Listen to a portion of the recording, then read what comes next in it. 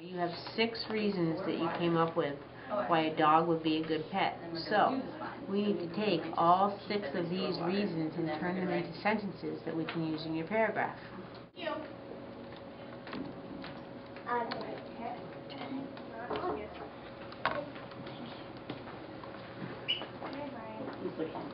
Catch with it. What else is fun to do with a dog? Can you give me your sentence? I can give kisses to my dog. That sounds like fun. Do, do dogs give kisses back too? Well, maybe we could write something about that.